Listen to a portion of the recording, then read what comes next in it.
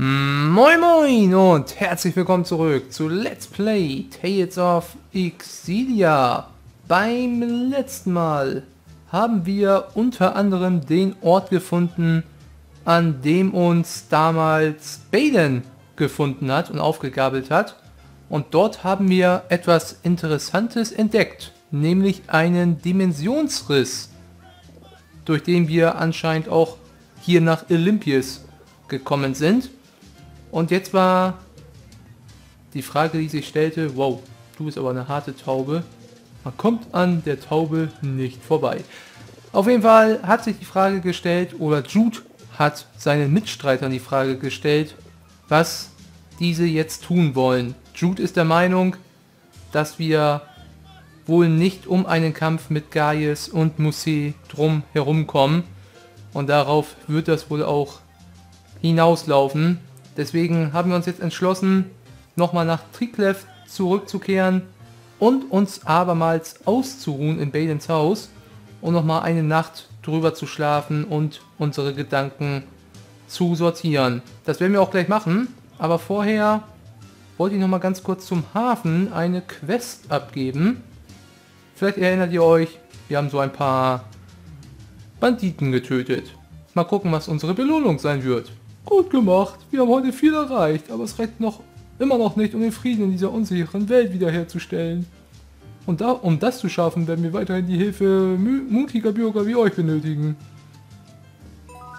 Und wir bekommen 11.400 Geld und eine mysteriöse Maske. Natürlich ein Accessoire-Gegenstand.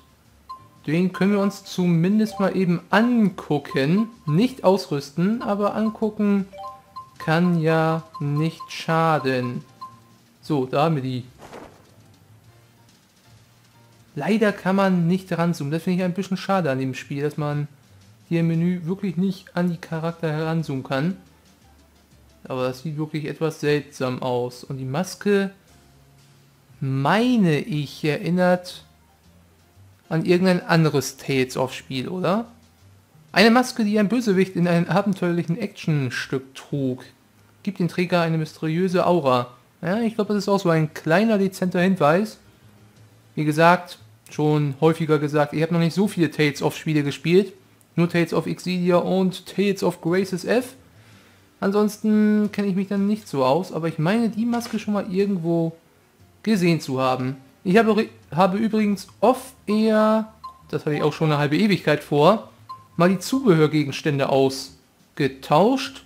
Mida hat den Alexandriten bekommen. Ich meine, den hätten wir sogar nach dem letzten Bosskampf gegen Volt bekommen, oder? Bin mir gar nicht mehr sicher. Auf jeden Fall haben wir den noch nicht so lange im Inventar. Der erhöht die KP und die TP um 25%. Und das ist für eine Nahkämpferin plus eine, die viel zaubert, eigentlich der perfekte Gegenstand. Deswegen habe ich den selbstredend Mida gegeben. Jude hat immer noch den Machtring. Er ist, glaube ich, der Einzige, der sein Zubehör, er das gleiche Zubehör immer noch trägt. Elise habe ich das mystische Emblem gegeben. Das reduziert die Wirkzeit von Zaubern um 20%. Und das ist gar nicht so wenig. Gerade sie mit ihrer Heilungsartes kann das schon mal über Leben und Tod entscheiden. Auch ihre Wiederbelebung, der ja, der Wiederbelebungszauber, der ja standardmäßig ziemlich lange dauert, wird dadurch um 20% kürzer. Das kann also auf jeden Fall für eine Magierin wie Elise nicht schaden. Leia habe ich das Elementar gegeben. Das erhöht die Resistenzen gegen alle Elemente um 30%. Das ist doch mal nett. Achso, und Elvin hat auch noch sein altes Zubehör-Item behalten, nämlich den schwarzen Onyx. Der hat immer noch die Fähigkeit, die KP um 30% zu erhöhen. Und Rowan habe ich das Amulett gegeben, das verhindert alle physischen Beeinträchtigungen, wie zum Beispiel Lähmung und sowas. Kann auch sehr, sehr nützlich sein. Ansonsten habe ich die Fertigkeiten bei einem Charakter mal ein bisschen angepasst. Wurde auch langsam, langsam Zeit. Aber okay, das ist eigentlich nicht so interessant für euch. Deswegen gehen wir wieder zurück zu Badens Haus. Und an dieser Stelle sei gesagt, es dauert nicht mehr allzu lange, dann sind wir schon am Ende der Hauptstory angekommen. Ich schätze mal, es wird nur so drei, maximal vier Parts dauern. Dann sind wir schon mehr oder weniger... Ja, ich sag einfach mal, ist gerade heraus, da sind wir schon beim Endboss. Selbstverständlich wird es auch in diesem Spiel ein Endboss geben. Aber bevor wir uns den stellen, werde ich noch ein paar Nebenquests machen. Das heißt ein paar. Eigentlich sind es an der Zahl nur zwei Stück. Eine davon ist etwas größer. Aber sobald die beiden Nebenquests abgeschlossen sind, möchte ich mich schon so langsam dem finalen Kampf widmen. Aber der finale Kampf wird nicht der letzte Part sein, denn es wird noch mindestens zwei Bonusparts geben, die nach dem offiziellen Ende von Tales of Exilia kommen. Das sind zwei besondere Bosse, die ich euch nicht vorenthalten möchte, aber dazu zu gegebener Zeit mehr. Erst müssen wir jetzt erst... Ich habe Sprachfehler. Je näher das Ende kommt, desto nervöser werde ich. Warum ist das so? Egal, wenn ich mich richtig erinnere, warten demnächst erstmal ein paar sehr interessante Dialoge auf uns. Deswegen quatsche ich jetzt lieber ein bisschen zu viel und halte wahrscheinlich jetzt erstmal für die nächsten paar Minuten meine bescheidene Klappe. Denn dort steht Balin und wir schauen, was passiert. Ihr könnt dieses Zimmer benutzen, wann immer ihr wollt. Wir sind doch Freunde. Hier ausruhen. Ja, natürlich. Und ich glaube, jetzt geht's los, ja. Mit einer der schönsten Szenen des Spiels.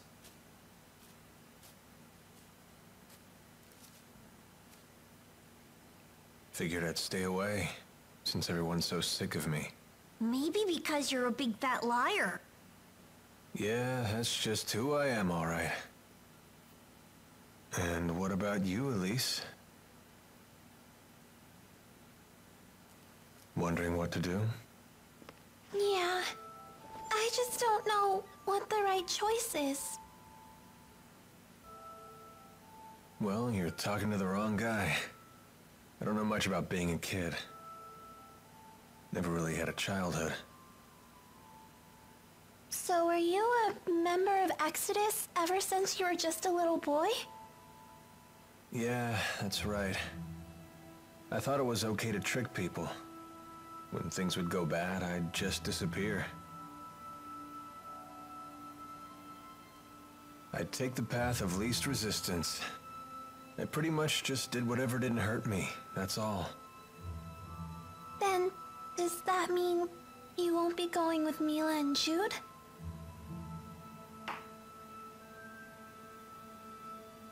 You know what? That kid forces me to wake up and smell reality. They're all just so mature. The way they hide their real feelings about me. Oh, now I get it. You're lonely, aren't you, Alvin? I've never been much for expressing my feelings, I suppose. But even if they do hate me, I have to stick it out. I'm not leaving this time. So does that mean that you really want to be their friend again?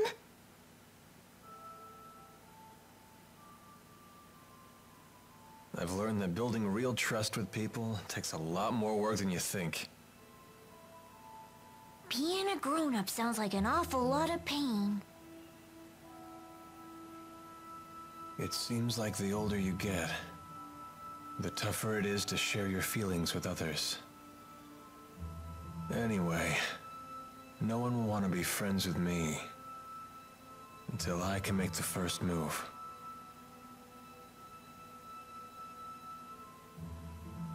It's hard, but it sure beats being alone.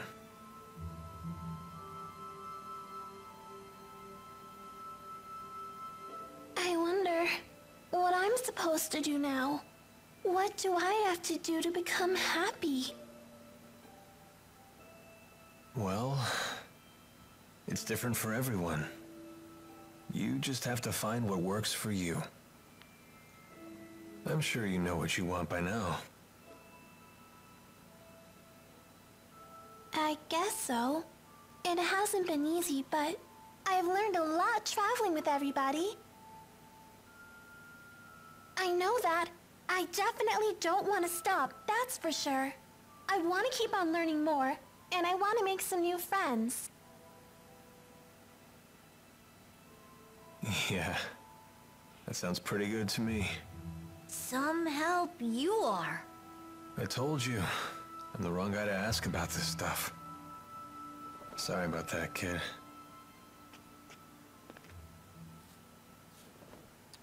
Huh? That's a thank you. I just wanted you to know that from now on, I'm gonna be your friend, okay?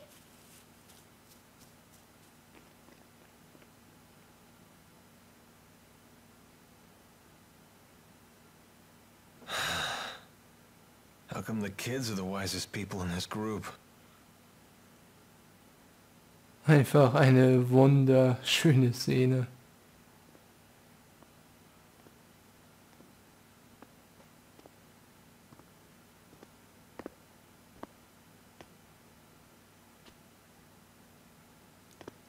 Trouble sleeping, young miss? Yeah, I still haven't made up my mind. What about you? I've reached a decision. I have decided to go with them. I see. I wonder if I'm the only one who's still on the fence. You're not alone. Huh? When Lord Klein passed away, I inherited the keys to the kingdom, along with many doubts. But eventually you figured out what to do, right? I used to think that everything works out if you do your best, but I've been proven wrong every time. Does Agria still haunt you? I keep thinking, there might have been something else I could have done for her. I know that feeling well.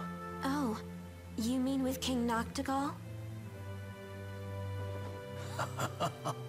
Am I that easy to read? Let me tell you, life does not become any simpler the older you get. But I must say, I am a bit surprised by you. In what way?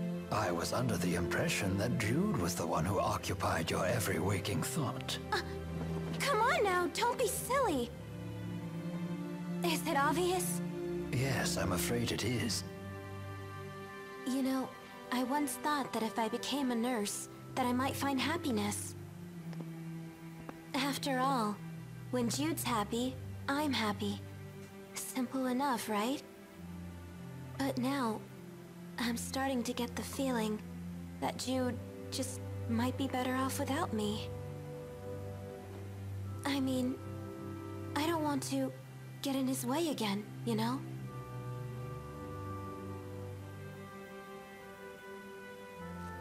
Leia, would you like to know what my reasons are and why I've decided to go along with Jude and Milla? Are you willing to tell me? I would like to be there to walk with them in the future that they wish to create. That sounds like you. But that's not all. Huh? I plan to take the lead and pull the two of them along behind me. That is my true desire. And I? What do I really want? I think you already know your answer, miss.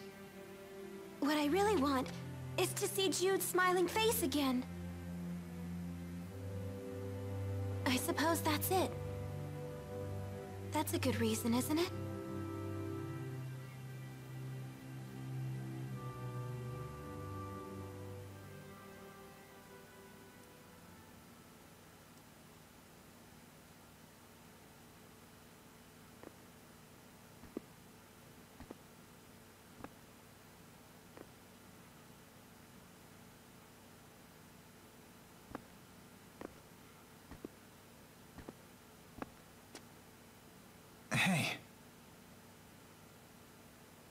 Don't you want to sit?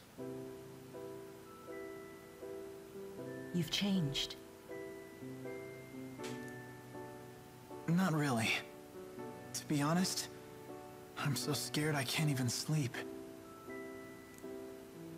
I told you before. If we can just dispel the schism, I'll handle everything from there.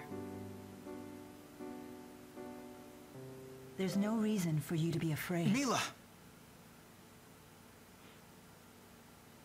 If the schism disappears, so will the temporal crossroads, right? Yes. The destruction of the schism means the death of Maxwell. The temporal crossroads were born from Maxwell and that unique spirit climb, so they will vanish too.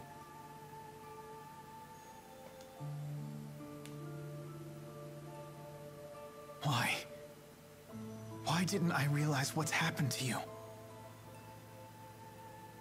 Hmm? I know. You never told me because... because you wanted me to find my own answer first. Isn't that right?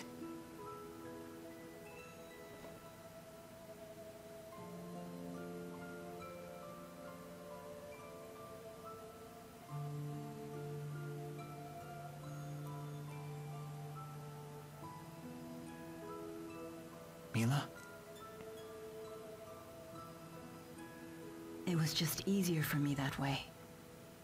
Huh? The entity known as Maxwell is essential for the spirits. So they will need a new Maxwell. Then we won't be able to stay together anymore? The sadness of parting is a human emotion. Such emotions no longer apply to me.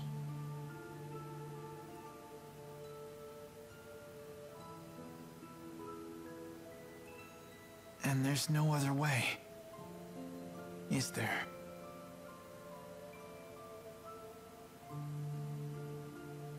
Maxwell created me, so...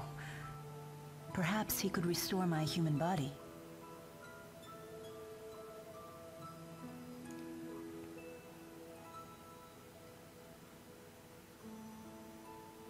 Jude, is that what you really want?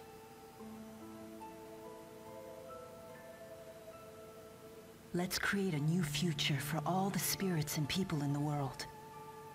And let's create it together.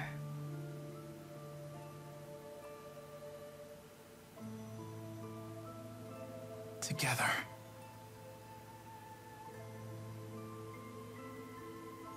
Thanks.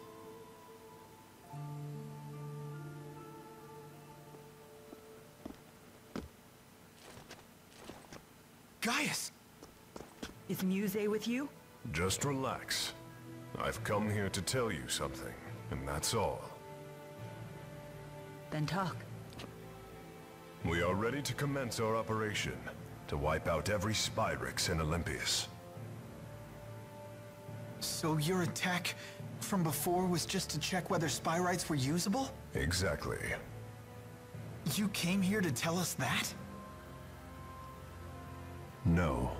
Listen. You have a dream for the future of the world that is vastly different from mine.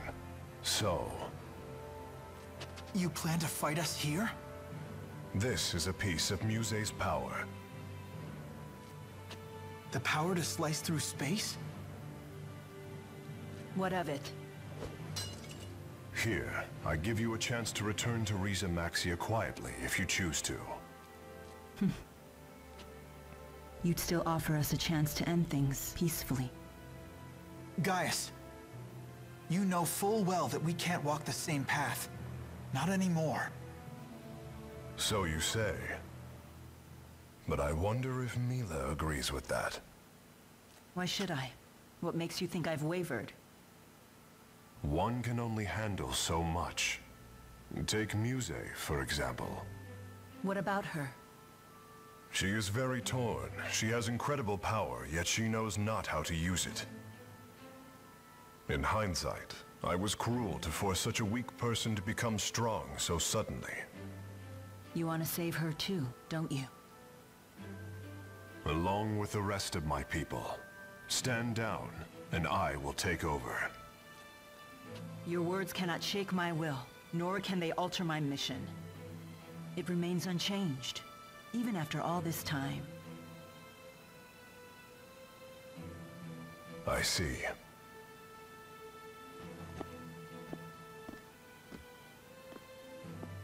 Jude. Hmm? Our choices matter. They're meaningful for precisely that reason, because they're our choices. Following the will of others will lead nowhere. That's why our choice right now is more important than our own survival. So Jude, please. Watch over me so that I stay on my path until the very end. Yes. I promise.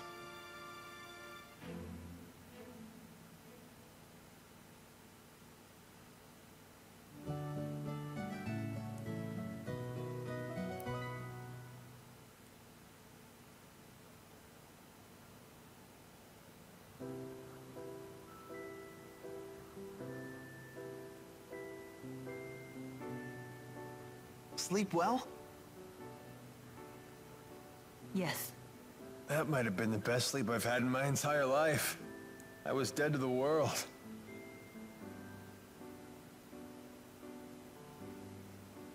I decided I'm coming with you. I won't bore you with my reasons, though.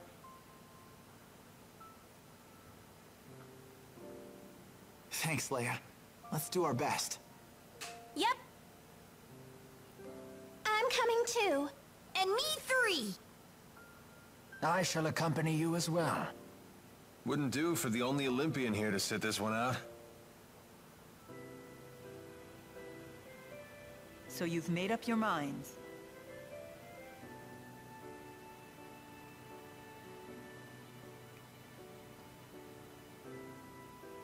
Then there's something we need to tell you.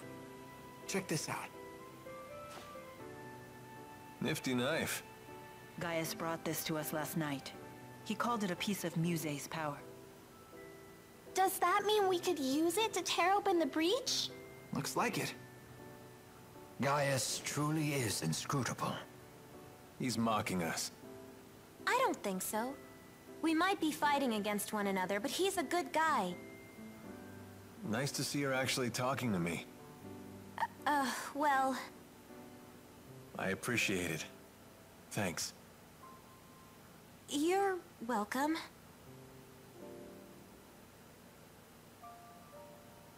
It's a bummer there's nobody here to send off the heroes! That shouldn't be a problem. We'll just have to accept that we're unsung heroes. Who needs an adoring crowd? Let's have a pre-battle cheer! If you insist. Couldn't hurt. Make sure to put some feeling into it. Indeed. Here goes nothing. Everyone, let's finish what we started.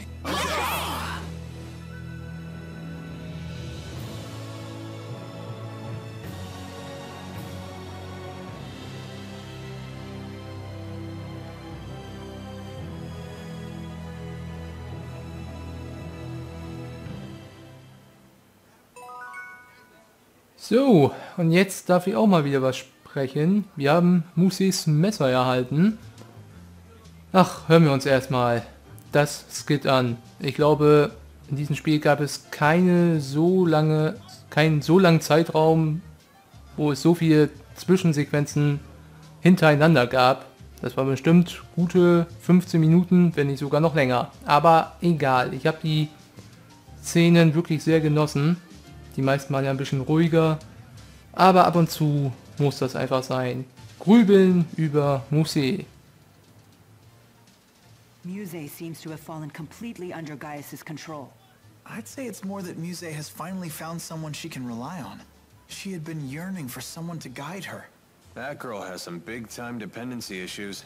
She's like my own dark shadow. I wish we could have met under different circumstances. Whatever the nature of their relationship, Muse's ability to manipulate dimensional space is now in Gaius's hands. That is no trivial matter. Agreed. Even the Great Spirits are no match for a blade that can sever dimensional barriers. That doesn't sound promising. Should we turn tail and run away? Yes, let's do that. do you really think I would say such a thing? Of No course way. not. You know me well. Nee, das hätte, glaube ich, niemand von Mila erwartet. Aber die Szenen, die waren wirklich schön. Vor allem die mit Elvin und Elise. Wie sie da auf der Schaukel sitzen, auf der Kinderschaukel. Und das erste Mal, dass sich Elvin wirklich so jemanden gefühlsmäßig so geöffnet hat. Darüber geklagt hat, dass er keine Kindheit hat. Und ah, es war einfach wirklich sehr, sehr schön. Auch das Gespräch zwischen Leia und Roven war sehr aufschlussreich irgendwie. Und alle haben jetzt ihre Gründe, mögen sie noch so unterschiedlich sein, mit auf Milas und Judes Reise fortzufahren bis zum bitteren Ende. Und unser Zielort dürfte wahrscheinlich klar sein. Habe ich da hinten was glitzern gesehen? Aus den Augenwinkel ist mir ein Schatz von Elfried ins Auge gestochen. Ein Monokel? Hatten wir das nicht schon? Mit diesem Objekt verströmt man eine noch intelligentere Endlosschleife. Aura als mit einer Brille. Ach nee, stimmt, das andere Monokel war ein Zubehörgegenstand und das war jetzt ein Accessoire. So, das hat mich mal wieder völlig aus dem Konzept gebracht. Nein, es dürfte klar sein, wo wir jetzt hinreisen. Natürlich zum Dimensionsriss, zum Risseingang. Denn die Gruppe hat schon richtig vermutet, mit dem Messer, das wir bekommen haben von Musée. Und ich weiß, wie wird Musée ausgesprochen. Aber ich kann es mir nicht abgewöhnen. Ich habe mal ein anderes Tales of Exil Let's Play geschaut und da hat der Let's Player auch immer wieder Musée gesagt. Und irgendwie komme ich da nicht dran vorbei. Wollte ich noch irgendwas sagen? Ah ja, und Gaius, das habe ich auch schon gefühlte 100 Mal erzählt, er ist nicht der typische Bösewicht und Leia hat es gerade auch nochmal gesagt, er ist eigentlich ein guter Mensch, bloß seine Mittel und Wege sind nicht die besten und sind mit unseren nicht kompatibel. Jude, you're up. Dann mal schauen, ob es funktioniert. Und Gaius hat uns ja nochmal die Chance gegeben. Wir könnten jetzt noch nach Jetze Maxia zurückkehren und das alles friedlich enden und ihn machen lassen und die ganzen Spyrex in dieser Welt zerstören lassen. Uh, not so fast. What now? You really think we can beat Gaius and Muse like this? Don't tell me you're getting cold feet. I don't think that's what he's implying. Do we need to take care of any business back in Riza Maxia? We can go back? Yes, we can probably return to Rieze Maxia from the temporal crossroads. Alvin has a point. We cannot expect help from anyone. In other words, we must be fully prepared. Right. We gotta think these things through. We're on our own after all. Good point. Ja, und da hat die Gruppe recht. Wir könnten, wir sind jetzt übrigens bei dieser jetzt schon mehrfach erwähnten Weltenkreuzung. Das hatte Jude ja im Gespräch mit Mila das erste Mal erwähnt, ohne dass diese Weltenkreuzung, die wir gleich betreten werden, vorher überhaupt einmal erwähnt wurde. Das hat mich so etwas überrascht. Aber die Weltenkreuzung werden wir kennenlernen. Allerdings erst beim nächsten Mal, wenn es wieder heißt Let's Play Tales of Xillia. Wir steuern langsam, aber sicher dem Ende entgegen. Aber es erwarten uns noch einige schwere Kämpfe. Ich hoffe, ihr seid dabei und schaltet beim nächsten Mal wieder ein. Bis dahin macht's gut und ciao, ciao.